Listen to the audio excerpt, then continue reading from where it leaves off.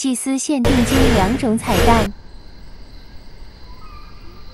这边的话，我们来看一下祭司限定金在局内一个效果。先看一下这款双一个正面，水灵灵的。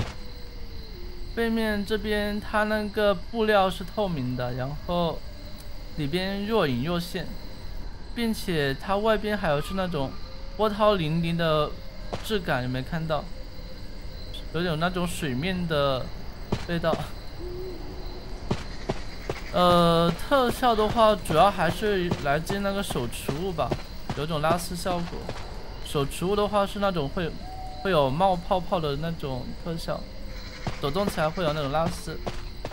不过，正如大家所说的，它特效的话比那个击球手要少。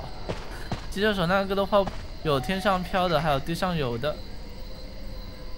然后这款时装的话有两个彩蛋。呃，第一个是打洞的时候，他眼镜会摘下来，没有看到？眼镜的话是戴戴起来了的。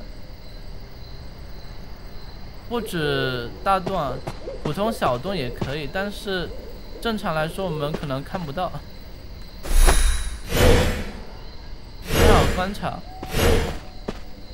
其次，第二个彩蛋的话就是那个呃。残影的颜色不同，左边这个的话是普通大洞，然后这边的话是一个限定的。呃，转一下，我们看一下这两两个洞。确实啊，左边的话是白色的，右边这个的话是蓝色的。有没有看到？左边那个是。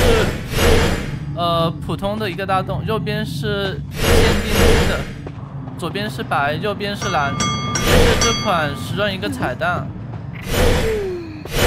这款时装一个彩蛋。最后总的来说，这款时装跟感觉还是可以的，就是挺美的。